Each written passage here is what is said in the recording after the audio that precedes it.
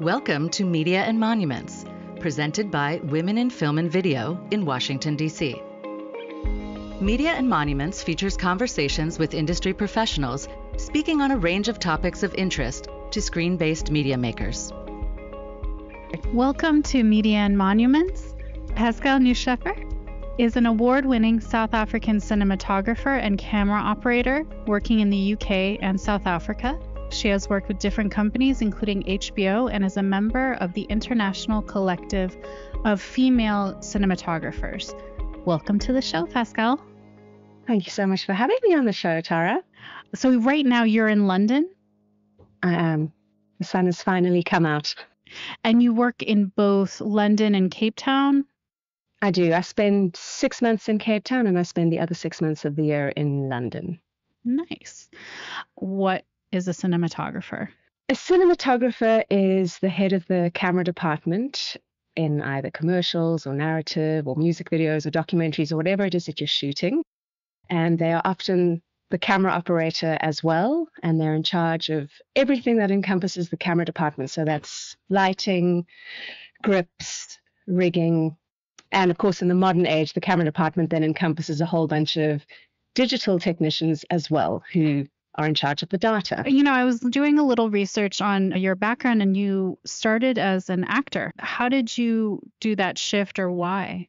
After I graduated, I was working as an actor, but I also started very coincidentally making documentary films. I was working in an archive at the University of Cape Town, and it was an oral history repository where they had lots of stories from people all over South Africa, and they were slowly moving into making films about this. So we had three main roads in Cape Town where we interviewed people who either lived on the street, worked on the street, or used the street to commute throughout Cape Town. And at the time was shooting and editing and doing a little bit of directing.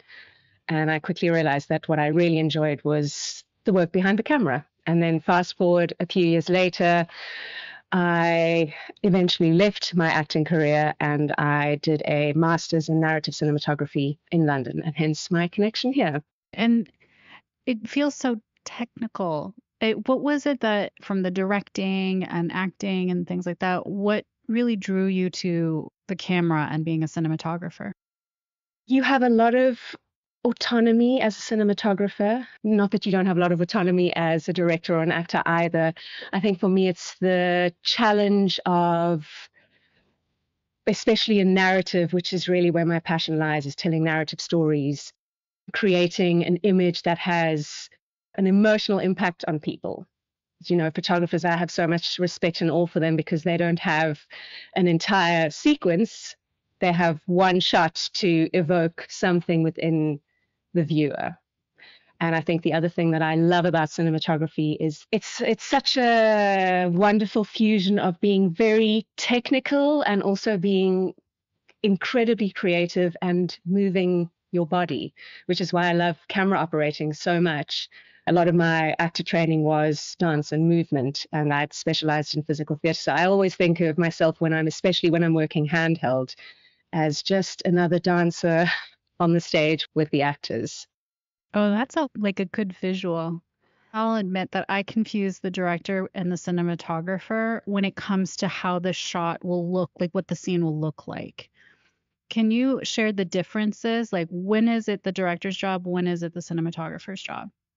So, the director and the cinematographer have an incredibly collaborative relationship. And the cinematographer usually comes on very early on in the pre-production process and one of my favorite ways of working with the director is to watch lots and lots and lots of movies together so that we have an idea of where we're going different directors and different cinematographers work differently or they work differently together so sometimes i work with directors who are incredibly technically minded and they know what lens they want on and when they draw storyboards, they know exactly what they want it to look like. And sometimes I work with directors who have an idea of what they want it to look like, but often they'll say what they want it to feel like. And I think in terms of where it gets very technical and the director is probably going to be a lot less hands off because they're the person who is answering every single department's questions is when lighting comes in. So setting up lighting, setting up the technicalities of the camera. That's something where a director would usually not get involved. Camera departments can become quite big. A lot of cinematographers will get involved with the storyboarding. I often like to go on location with the director if we don't have time for a storyboard. What we do is we do photo boards, but we have a clear idea together of what it's going to look like. So we spend a lot of time in prep so we know on the day when we arrive and we know there are going to be other little fires to put out and things won't go according to plan. But we have we're on the, we have to be on the same page. We have to be making the same film, which is why watching films and having visual references is always so helpful.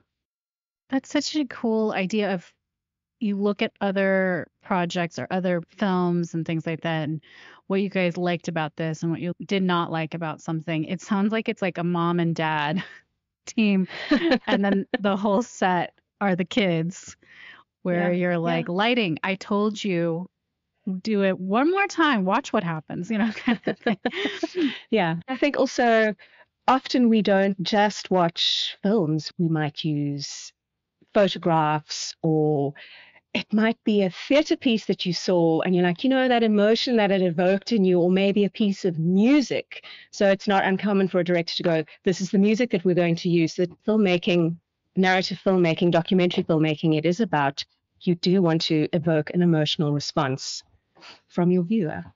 You've worked in the different types of content, uh, commercials, documentary, narrative, fiction, nonfiction, all that stuff. Have you noticed a common thread of when it usually is documentary, it's usually like this, and if it's usually a narrative or fiction, it's like that? Well, documentaries, because they're not, I mean, they are scripted, but they're not scripted like a narrative film. They are usually in uncontrolled environments. Things on a film set are extremely controlled and things can be easily replicated. We can stop, we can do things again. Whereas with documentary, you have often one chance, and if you miss it, you've missed it. And then you can't sit there beating yourself up about the fact that you've missed this one important shot. You need to keep going. I think with documentaries also, because the budgets are often smaller, you're working with different cameras, and often you're working with much smaller crews, which is sometimes better because if you're cramped into a tiny space and there's only one little window and that's your only source of lighting, you don't want to be working with a big crew. Or if you're working with sensitive subject matter, it's easier to just be maybe a crew of two or three or four people. I think the other thing with documentaries is you have to and that's why I'm so glad that I started in documentaries is you have to be open to something happening in the moment that you weren't expecting. And sometimes that moment just happens and you go, wow, we got that amazing moment on on camera, or it's something that someone said or they did that you weren't expecting. Whereas on a controlled set, it's been rehearsed. And of course, things happen all the time that you weren't expecting, but it's the lack of control that you have makes documentaries very exciting and also sometimes quite anxiety inducing. Yeah. Uh and your background as you said you were a stage performer as well and a dancer like everything is very choreographed and you guys know when the audience is going to applaud or, or, something like that. So it sounds like it's similar when it's on a set.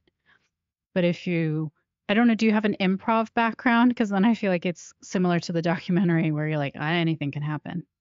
I have an improv background in in contact improv which is improvised dance that uses a lot of body weight and lifting and falling to the floor. And I think the thing about the stage is that where again it differs from something being shot on screen or being an actor behind the camera. Of course, you're always open to those moments, but there's something very electrifying and magical about the stage because no performance is ever the same because of course there there are different audience members and there's this invisible energy that flows between the actors and the dancers and the audience. Things happen, a light doesn't work, or a prop was not brought onto stage, or you forgot something, or you forgot a line, or your fellow actor forgot a line. So I think there's also something about it's just, it's the nerves that keep you on your toes and that makes it so alive.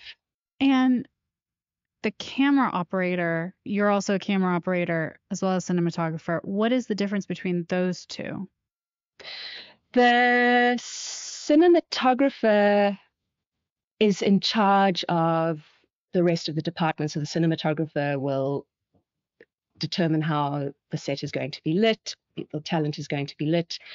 Often the camera operator might be a Steadicam operator, so they have a specialized skill.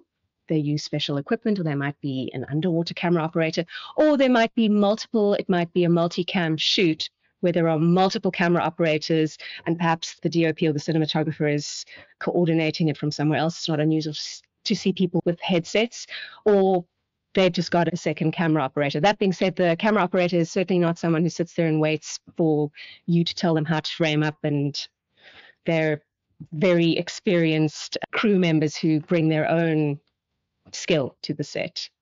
Working in different continents and countries. I only know of England and South Africa, but if you worked with other countries, have you seen a difference on how the cultures want their scenes? Not between South Africa and the UK. I think the film industry is very similar, and I haven't worked in the States. so I wouldn't know about that. I know that some of the roles in the camera department are a little bit different in the States. So I think a gaffer is sometimes also a grip in the States, whereas in South Africa and the UK, those are two separate roles. But no, I'd say that the industries are very similar. I think the only difference I've noticed is that in the UK, they're a lot stricter about working hours not becoming ridiculously long 16, 18, 20 hour days. It happens, but it's seldom. And there's been a kind of a discussion that now that more and more films, even big budget, they're going more digital than film. And it's making things harder to see. It's always a little darker.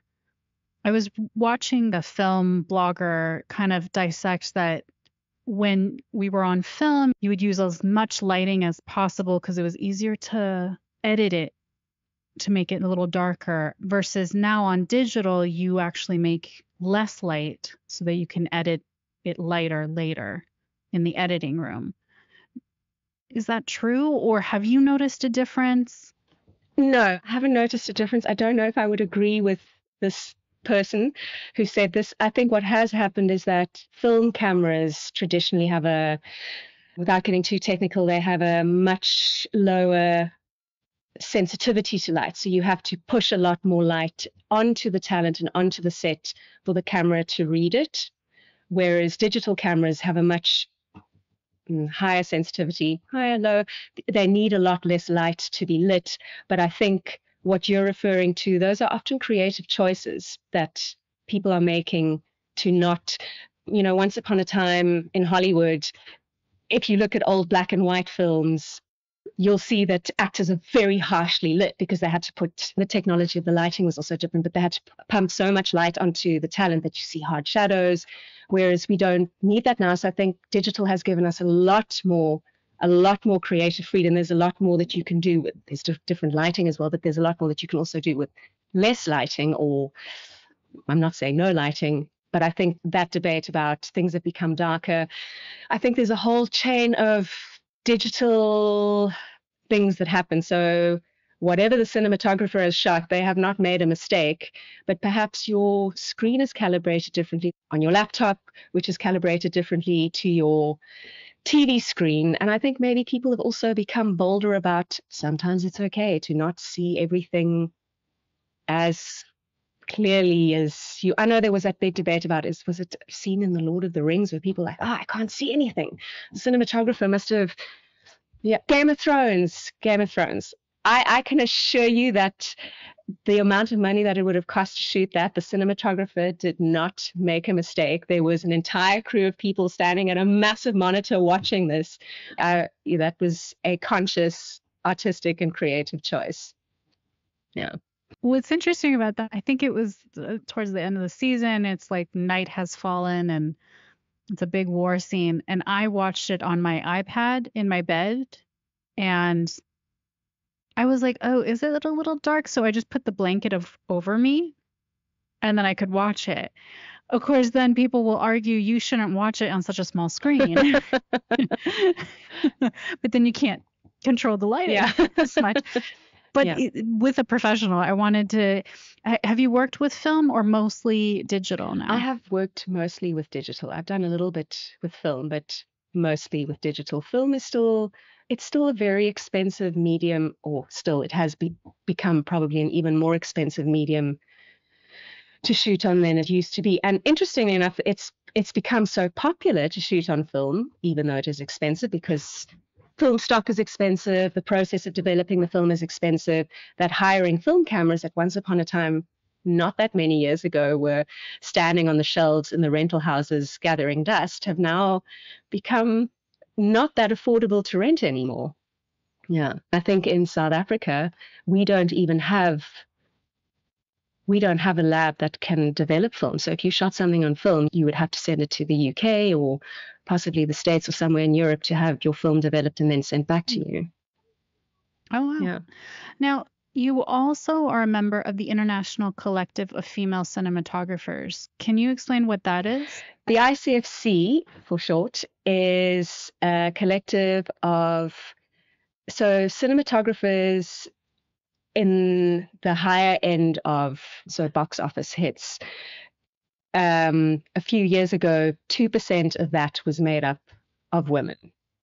I think last year, and I stand to correction, the percentage has moved up to seven percent. So the ICFC is about creating visibility around female cinematographers so that we can push the 7% to 50%, hopefully. Yeah, that was what was unique that your background and your concentration is cinematography.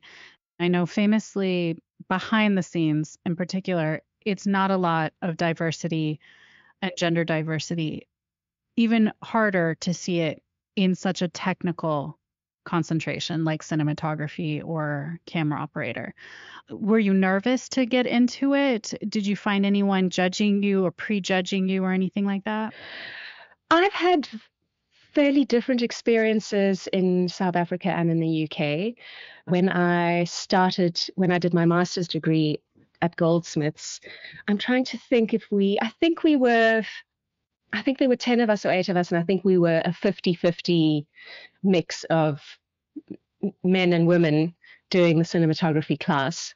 But I think that had also, the st- statistics had changed.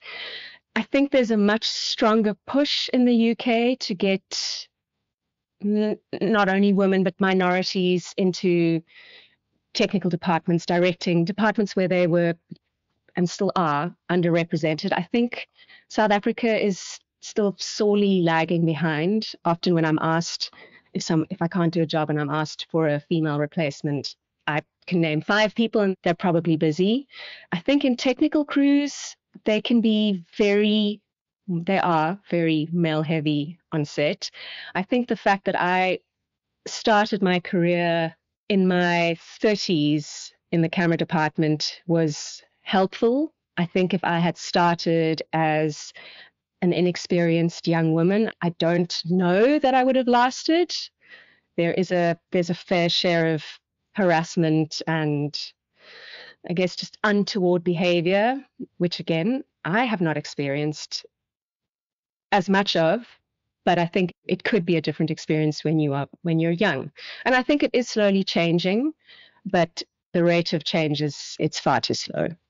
What is some advice for people that are interested in looking into cinematography or camera operating or even direct like you said you work so closely with the director what makes it a good job and what makes it like if you're not really good at this recognizing those things There are so many amazing, fantastic things that make it a good job. If you're a team player, this is the job for you. It is so incredibly collaborative. If you like collaborating with people, this is a job for you. If you do not like collaborating with people, this is not the job for you. I think there are other departments in the film industry that might be better suited to you.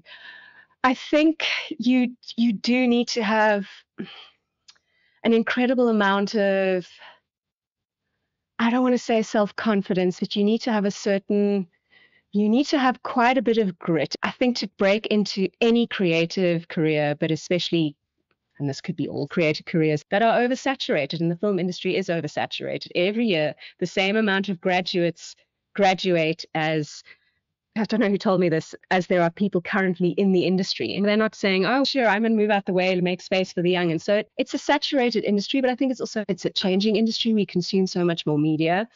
But yeah, you need to, I would say, stick at it. There will be a lot of disappointments.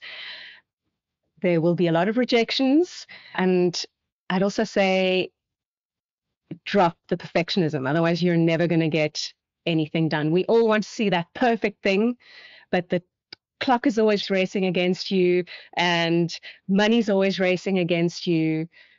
Is there anything that we didn't touch that you think that you'd like to add? You were asking about it being a male heavy, a male dominated industry. I still, when I go to tech expos or film festivals or conferences or whatever, I still, especially in the technical departments, it's always white male voices dominating those conversations. And there are so many incredible female cinematographers who also have become incredible directors. And I think that these conversations are necessary, but there'll be there'll always be the panel of women in film, and it often becomes a conversation about the obstacles and the boundaries that we face, which we absolutely have to have those conversations. But I think the focus then sometimes falls away from the amazing work that women are doing in film, regardless of what department they're in, female directors or female cinematographers.